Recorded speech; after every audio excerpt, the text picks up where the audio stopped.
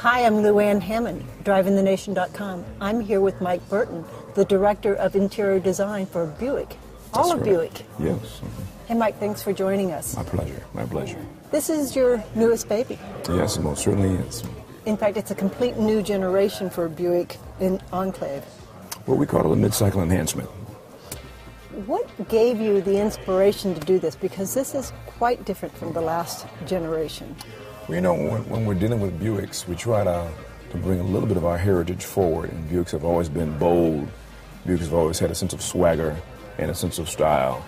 And at the same token, I use this phrase with my team when we're designing Buicks as being sculpturally persuaded, having form vocabularies that, that, that are very passionate and really speak to you in a very persuasive way.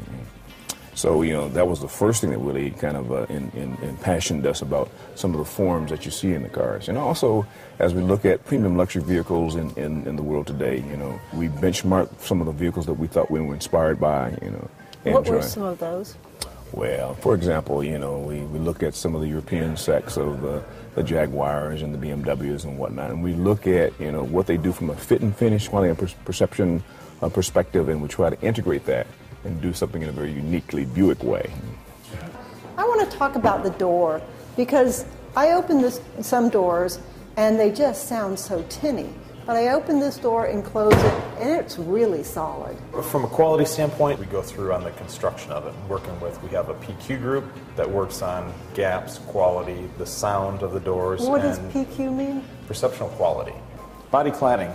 We've gone body color with this. So more monochromatic, really integrates well, really a clean, holistic appearance. Gives it a big stance on the road. It gives it a substantial appearance from side view. Yeah, it looks a little bit more uh, premium, cohesive. We also have new for 2013 is the uh, front suspension.